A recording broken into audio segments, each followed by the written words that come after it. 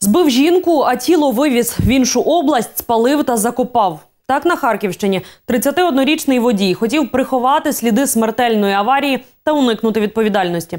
Однак за кілька днів не витримав та сам зізнався поліцейським у злочині. У день трагедії до правоохоронців звернувся і чоловік загиблої із заявою про зникнення дружини. Розповів, що жінка усього на кілька хвилин вийшла на подвір'я, та більше її ніхто не бачив.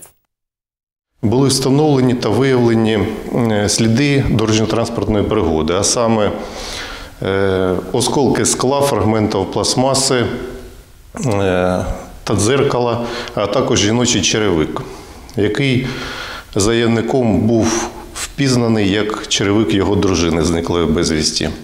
Кермувальнику, який збив жінку та спалив її тіло, загрожує до восьми років ув'язнення. Слідство триває.